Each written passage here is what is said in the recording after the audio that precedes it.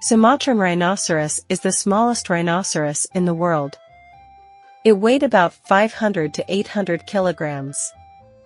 It is a herbivore that eats food such as fruit, leaves, twigs, and bark. The population of rhinos keeps decreasing. There are no more than 80 Sumatran rhinos left in the world. The biggest problem is illegal hunting and habitat loss. This species is now extinct in Malaysia. We can help to protect the rhinos by donating to the Rhino Conservation Charity.